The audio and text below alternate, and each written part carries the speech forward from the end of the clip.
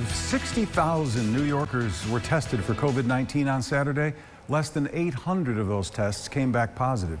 That's a less than 1% infection rate, something the state hasn't seen since before March 16th.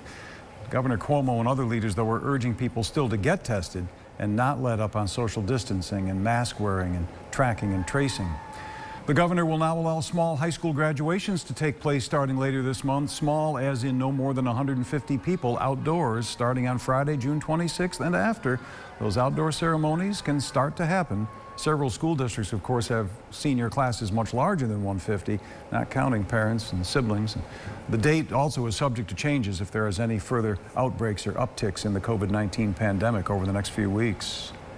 This weekend, the city of Syracuse joined the nation in another weekend of protests, a peaceful march through the Strathmore neighborhood, much smaller, though, than the one the day before when thousands gathered downtown to protest for racial equality and against police violence. It was the ninth straight day of protests yesterday in central New York. A man is critical after being stabbed in the head last night in Syracuse. Police say this happened at about 8 o'clock on Butternut Street, not far from Schiller Park. The 30-year-old man taken to the hospital where at last report he was in critical condition.